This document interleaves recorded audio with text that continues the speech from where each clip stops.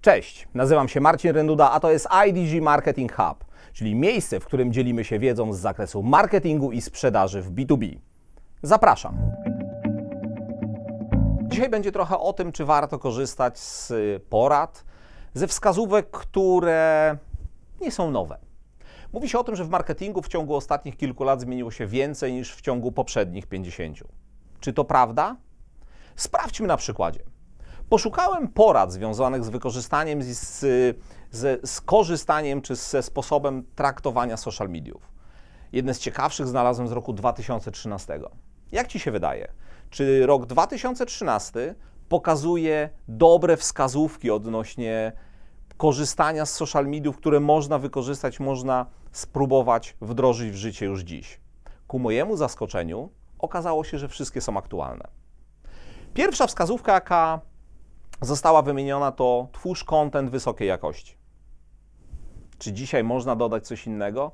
Prawdopodobnie twórz kontent jeszcze wyższej jakości, ponieważ musisz pokazać swoją różnicę na poziomie profesjonalizmu i na poziomie tego, z czym docierasz do swoich użytkowników.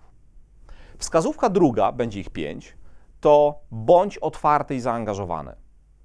Czyli zaangażuj ludzi do tego, żeby komentowali, ale również ty bądź zaangażowany, czyli mówimy absolutnie w social mediach o dwukierunkowości w komunikacji marki. Trzecia to bądź skoncentrowany na swojej niszy. To jest oczywiście zasada, o, którą, o której niestety bardzo wielu marketerów zapomina. Bardzo wielu marketerów chce tworzyć ogólne treści do szerokiej grupy. To błąd twórz treści, twórz content związany z bardzo wąską specjalizacją. Tam, gdzie jest, Twój core business, taki prawdziwy core business. Docieraj tylko do tych klientów, mów do nich językiem, który oni rozumieją, bo na tym Ci najbardziej zależy. No i wreszcie dostosuj treść do specyfiki kanału, do, przez który mówisz trochę inaczej będziemy wykorzystywali social media, takie jak Pinterest, jeśli korzystacie, czy takie jak Facebook, a trochę inaczej będziemy korzystali z LinkedIna, czy e, na przykład YouTube'a.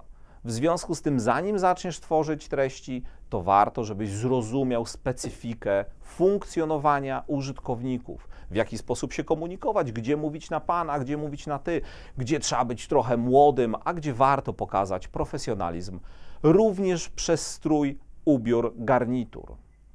No i wreszcie ostatnie, pamiętaj o tym, że prowadzenie przez ciebie social mediów ma służyć do rozwoju biznesu, a w związku z tym szukaj na każdym etapie monetyzacji. Pięć zasad. Wydaje się, że cztery lata temu, kiedy zostały stworzone, to już zamierzchła przeszłość w, w internecie i w marketingu, a okazuje się, że wszystkie są aktualne. Jaki z tego wniosek? Nie wszystko złe, co powstało kiedyś, warto od czasu do czasu wrócić do podstaw i sprawdzić, czy na pewno realizujemy te rzeczy. Bardzo dziękuję.